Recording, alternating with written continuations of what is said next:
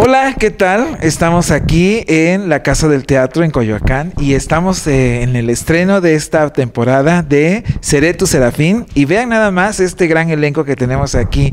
Vean cuánta gente está en el escenario y pues bueno, vamos a ver qué le puede decir este elenco al público de Arte Cultura TV para que vengan en esa temporada.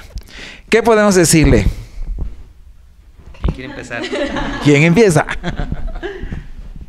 Ah, bueno, eh, los esperamos aquí en, la Casa del Teatro en Coyoacán.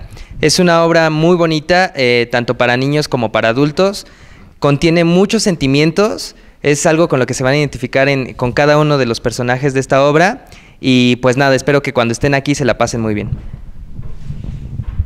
Sí, tenemos una situación muy interesante en donde lo viejo hay que cambiarlo y lo nuevo hay que proponerlo de otra forma, ¿no? Entonces, vamos a preguntarle a la princesa desde cuándo viene esta historia. Bueno, pues esta historia viene desde cuando quieres cambiar los sueños viejos por cuentos nuevos y los cuentos viejos por sueños nuevos. Y te tienes que, tienes que venir porque esta obra tiene un gran mensaje al final que tú tienes que descubrir y que nadie más tiene que contártelo. Bien, y tenemos a Nico que es el encargado de qué? ¿Eres el dramaturgo? Hola, gracias por estar aquí. Nosotros, eh, bueno, el texto es de Miguel Ángel Tenorio, eh, un autor muy que tiene varias bibliografía, casi toda para toda la familia. Esta obra nació en el 85, nosotros la venimos representando del 2012 con diferente elenco. Esta es una de las partes de esta temporada. Son tres elencos diferentes, entonces aunque vengan en la primera función, a la tercera van a encontrar otro elenco diferente. Y eh, es un esfuerzo de todos, todos. La dirección, el marcaje original es de Arturo Sandoval y el esfuerzo de, en cuanto a utilería, escenografía, musicalización es por parte de todos. Todos lo hicimos. Somos puro bolillo teatro. Like. Pues aquí está, tienen que venir porque esta temporada está empezando, estamos en la función de estreno y este la gente que no venga se va a perder de una historia bastante interesante. Me gusta mucho el juego de palabras que hay aquí. Me gusta mucho ese rescate sobre el lenguaje antiguo y cómo llevarlo en la actualidad a esa idea de cómo comunicarnos con las personas que nos interesan o con las personas que queremos o amamos. Me gusta mucho en esta presentación el ingenio para representar con la utilería las cosas que nos hacen visible esta, esta vivencia que tienen.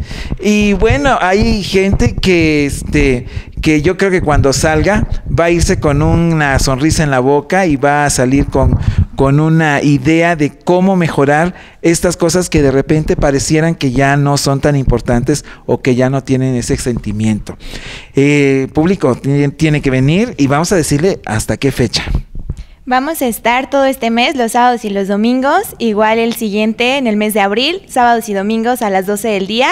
Eh, aquí los esperamos, se van a divertir muchísimo, traigan a toda su familia, es una obra de teatro familiar, no nada más es infantil, se van a divertir y hay un muy buen mensaje. Sí. ¿Y qué canta el artista? Es una canción muy famosa de mi repertorio. Eh, se van a divertir y espero que con su presencia, no sé, nos llenen de más energía. No es Lenny Kravitz, pero aquí está. ¿Sí? Y bueno, la dama, ¿qué nos puede decir rápidamente? Ah, en general de la obra o de que no pues invitar al público a que vengan este como mencionó mi compañera, bueno, vamos a estar aquí hasta el 8 y 9 de abril. Esas son las últimas dos fechas. Tienen que venir. Es una obra maravillosa con mucho color, mucha magia, mucha comedia. Y, y, que dicen, sí es cierto, tiene, tiene un gran mensaje, ¿no? Y, bueno, es apta para todo el público, tanto grandes como chicos realmente la, la disfrutan. Entonces, eh, vengan y pues claro que, con esto van a apoyar a Teatro Independiente y, y esa es otra, otra de nuestras misiones, ¿no? Apoyar al Teatro Independiente y seguir llevando y haciendo teatro para la gente.